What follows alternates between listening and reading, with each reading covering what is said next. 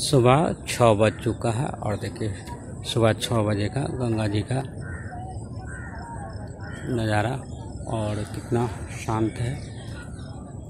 और देखिए, ये कुछ नाव नदी में चल रहे हैं, जो कि अच्छा लग रहा है। और देखिए, सुबह के लिए कुछ लोग टहलने के लिए जा रहे हैं।